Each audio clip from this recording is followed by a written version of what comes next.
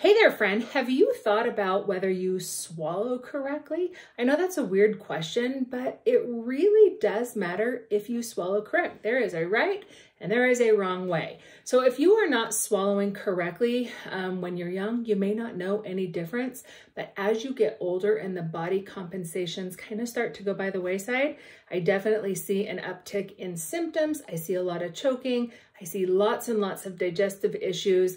And I think probably one of the more um, relevant consequences for a younger population is that we start to see um, the teeth affected, okay?